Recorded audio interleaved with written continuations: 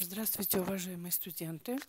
Итак, дисциплина системы управления и их компьютерное моделирование.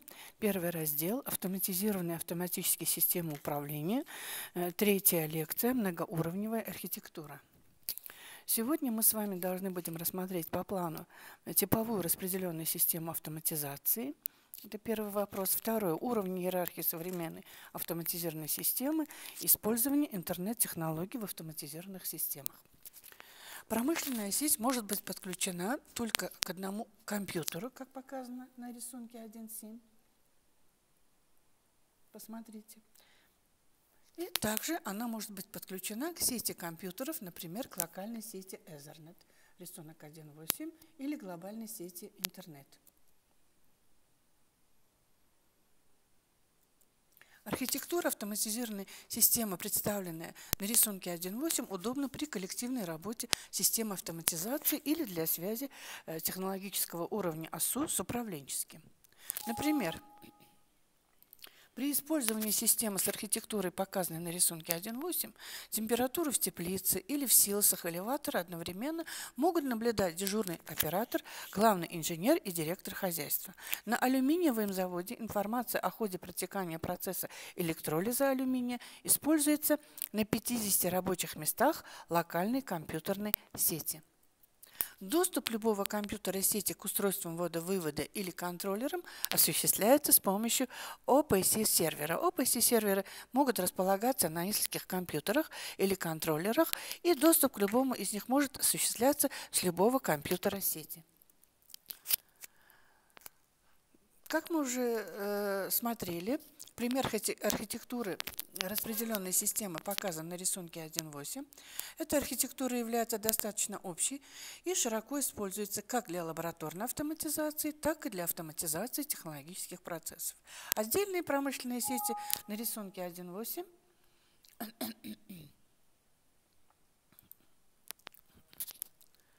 могут иметь различные протоколы и содержать оборудование разных производителей, а также различную физическую среду передачи данных оптоволокно, медные провода, радиоэфир через радио или через GSM-модемы и другое.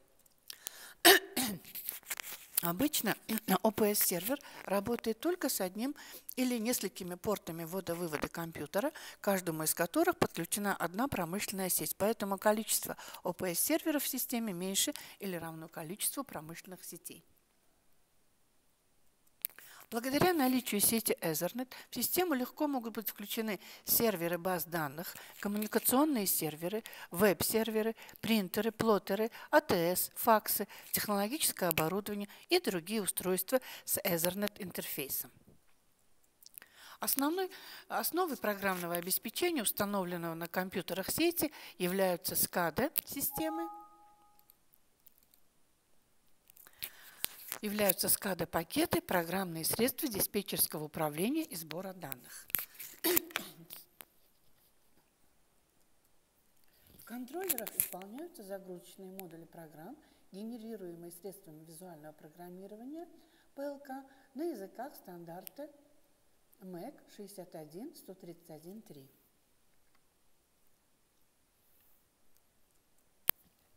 Система управления с многоуровневой архитектурой обычно строится по объектному принципу, когда структура системы выбирается подобной структуре объекта автоматизации, а каждая подсистема является локальной, то есть все обратные связи замкнуты в пределах этой подсистемы.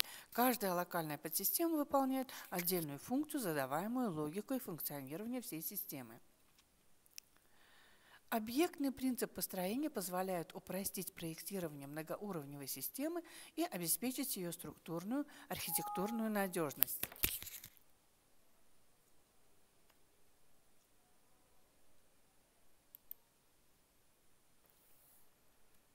Анализ сложных систем управления позволяет выделить в них несколько однородных уровней иерархии, показанных на рисунке 1.9.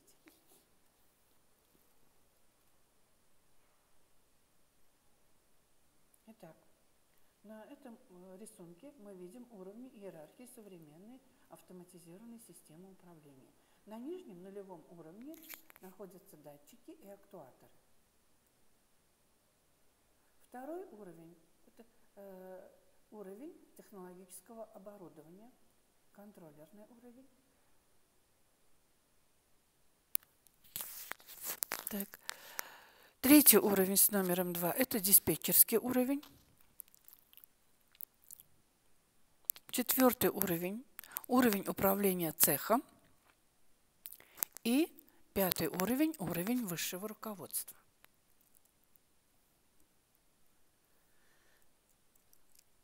Низший нулевой уровень включает в себя, как уже было сказано, датчики исполнительные устройства, актуаторы, датчики температуры, давления, концевые выключатели, дискретные датчики, наличие напряжения, измерительные трансформаторы, реле-пускатели, контакторы, электромагнитные клапаны, электроприводы и другие. В настоящее время наметилась устойчивая тенденция к использованию интеллектуальных датчиков, которые имеют цифровой интерфейс, встроенный микроконтроллер, память, сетевой адрес и выполняют автоматическую калибровку и компенсацию нелинейности датчика. Интеллектуальные датчики в пределах сети должны обладать свойством взаимозаменяемости, в частности, иметь один и тот же протокол обмена и физический интерфейс связи, а также нормированные метрологические характеристики и возможность смены адреса перед заменой датчика. Первый уровень состоит из программируемых логических контроллеров, модулей аналогового цифрового и дискретного ввода-вывода, которые обмениваются информацией по промышленной сети типа Modbus, Modbus CTP, и другие. Иногда модули ввода-вывода выделяют в отдельный уровень иерархии. Второй диспетчерский уровень состоит из рабочих станций, компьютеров с человеком-машинным интерфейсом, наиболее распространенными вариантами которого являются SCADA-пакеты. Диспетчер-оператор осуществляет наблюдение за ходом технологического процесса или управлением с помощью мнемосхемы на экране монитора компьютера. Диспетчерский компьютер выполняет также архивирование собранных данных, записывает действия оператора, анализирует сигналы системы, системы технической диагностики, данные аварийной и технологической сигнализации, сигналы срабатывания устройств противоаварийных защит, а также выполняет часть алгоритмов управления технологическим процессом. Благодаря объединению диспетчерских компьютеров в сеть, наблюдение за процессами может быть выполнено с любого компьютера сети, но управление во избежание конфликтов допускается только с одного компьютера или функции управления разделяются между несколькими компьютерами. Права операторов устанавливаются средствами ограничения доступа сетевого сервера. Важной частью второго уровня являются также базы данных реального времени, являющиеся хранилищами информации и средством обмена с третьим уровнем иерархии системы управления.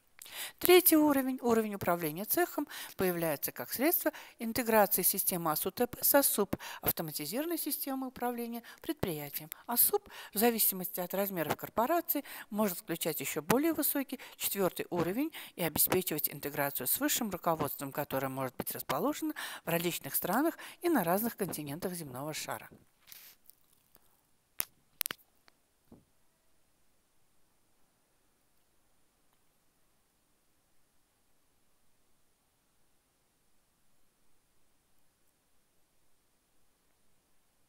Благодарю за внимание. Всего вам доброго.